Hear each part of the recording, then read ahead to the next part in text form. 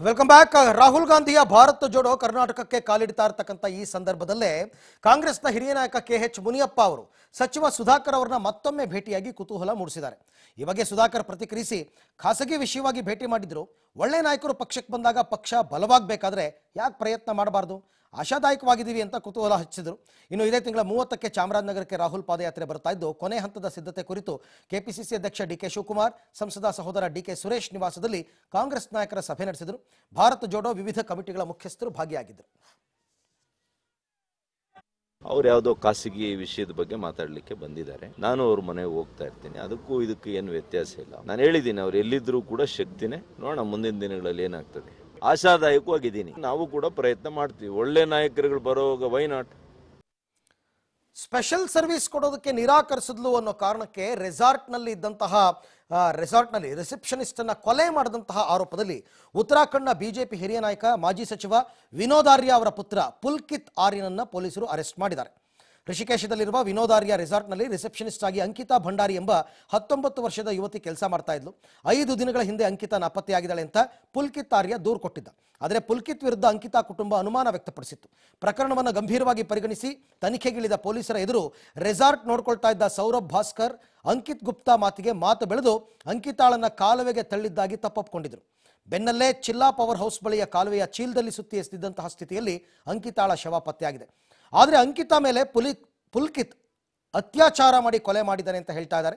ಇನ್ನು ನನ್ನನ್ನು ವೇಶ್ಯಾವಾಟಿಕೆಗೆ ನುಕಲು ರೆಸಾರ್ಟ್ ಮಾಡ್ಕ ಪುಲ್ಕಿತ್ ಆರ್ಯ ಕಿರುಕುಳ ಕೊಡ್ತಿದ್ದಾನೆ ಅಂತ ಅಂಕಿತಾ ತನ್ನ ಸ್ನೇಹಿತಿಗೆ ವಾಟ್ಸಪ್ ಮೆಸೇಜ್ ಮಾಡಿರೋದು ಗೊತ್ತಾಗಿದೆ. ವಿಚಾರ ಗೊತ್ತಾಗ್ತಿದ್ದಂಗೆ ಯುವತಿಯ ಸ್ನೇಹಿತರು, ಕುಟುಂಬಸ್ಥರು ರೊಚ್ಚಿಗೆದ್ದು ರೆಸಾರ್ಟ್ಗೆ ಬೆಂಕಿ ಹಚ್ಚಿದ್ದಾರೆ. ಪೊಲೀಸ್ ಜೀಪನ್ನೇ ಪಲ್ಟಿ ಮಾಡಿದ ಉದ್ರಿಕ್ತರು.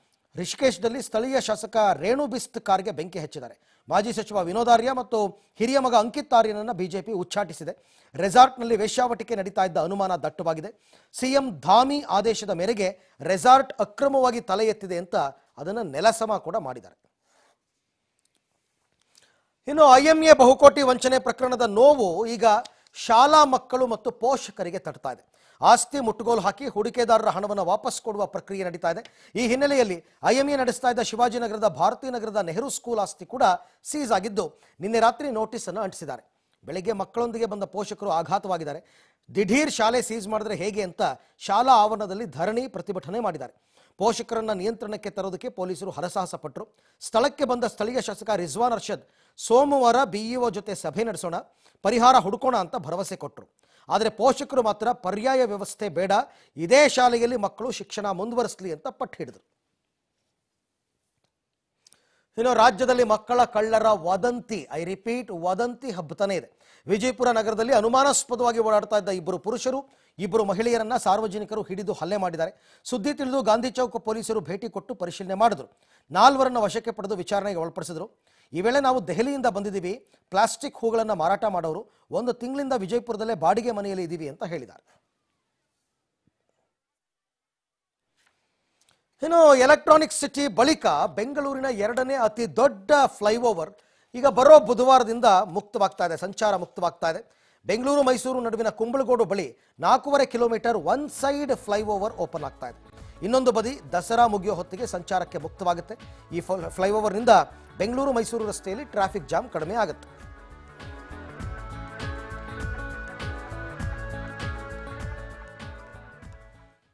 ಇನ್ನಷ್ಟು ಸುದ್ದಿ ಮತ್ತೊಂದು ವಿರಾಮದ ನಂತರ.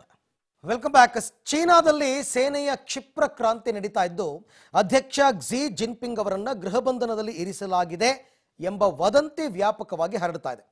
ರಾಜಧಾನಿ ಬೀಜಿಂಗ್ ಈಗ ಚೀನಾದ ಪಿಎಲ್ಎ ಸೇನೆಯ ನಿಯಂತ್ರಣದಲ್ಲಿ ಇದೆ ಅಂತ ಸಾಮಾಜಿಕ ಜಾಲತಾಣಗಳಲ್ಲಿ ಅನೇಕ ವರದಿಗಳು ಹೇಳಿವೆ.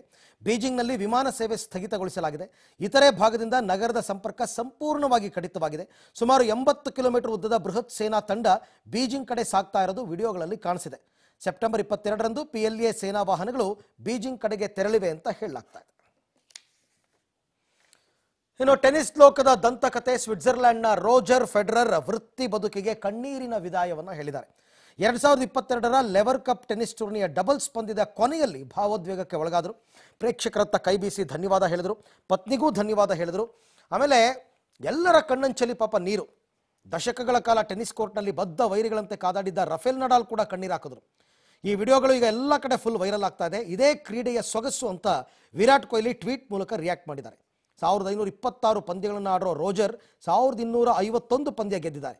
ನೂರ ಮೂರು ಟ್ರೋಫಿ, ಮೂವತ್ತೊಂದು ಗ್ರ್ಯಾಂಡ್ ಸ್ಲ್ಯಾಮ್ ಫೈನಲ್, ಇಪ್ಪತ್ತು ಗ್ರ್ಯಾಂಡ್ ಸ್ಲ್ಯಾಮ್ ಅನ್ನು ಮುಡಿಗೇರಿಸಿಕೊಂಡಿದ್ದಾರೆ. ಐದು ಬಾರಿ ನಂಬರ್ ಒನ್ ಆಟಗಾರನಾಗಿ ಹೊರಹೊಮ್ಮಿದ್ದಾರೆ. ಇನ್ನು ಪಬ್ಲಿಕ್ ಟಿವಿಯ ಬೆಳಕು ಕಾರ್ಯಕ್ರಮ ಅನೇಕರ ಜೀವನಕ್ಕೆ ಬೆಳಕನ್ನು ನೀಡಿದೆ. ನಿರ್ಗತಿಕರಿಗೆ, ದಿಕ್ಕಿಲ್ಲದವರಿಗೆ ನೆರಳಾಗಿರುವ ಹಾಸನದ ಆಟೋ ಚಾಲಕ ಗಿರೀಶ್ ಚೇದ ನಡೆಸ್ತಾ ಇರತಕ್ಕಂಥ ವೃದ್ಧಾಶ್ರಮಕ್ಕೆ ಬೆಳಕು ಕಾರ್ಯಕ್ರಮದಿಂದ ಸಹಾಯ ದೊರೆತಿದೆ. ಬೆಳಕು ಕಾರ್ಯಕ್ರಮ ನೋಡಿದ ಕಾಂಗ್ರೆಸ್ ಮುಖಂಡ ಬಾಗೂರು ಮಂಜೇಗೌಡ, ಆಶ್ರಮಕ್ಕೆ ಅಗತ್ಯವಿರುವ ಹಾಸಿಗೆಗಳು, ಬೆಡ್ಶೀಟ್ಗಳು, ದಿಂಬು, ಅಕ್ಕಿ ಹಾಗೂ ಆಹಾರ ಪದಾರ್ಥಗಳನ್ನು ನೀಡಿದ್ದಾರೆ. ಬೆಳಕು ಕಾರ್ಯಕ್ರಮದಿಂದ ಹರಿದು ಬಂದಿರುವ ನೆರವಿನಿಂದ ಗಿರೀಶ್ ತೇಜ್ ಅವರು ಖುಷಿಯಾಗಿದ್ದಾರೆ. ರಂಗನಾಥ್ ಸರ್ ಅವರು ನಮ್ಮ ಆಶ್ರಮಕ್ಕೆ ಭೇಟಿ ಕೊಡಬೇಕು ಅಂತ ತಮ್ಮ ಮನದಾಸೆಯನ್ನು ಹೊರಹಾಕಿದ್ದಾರೆ.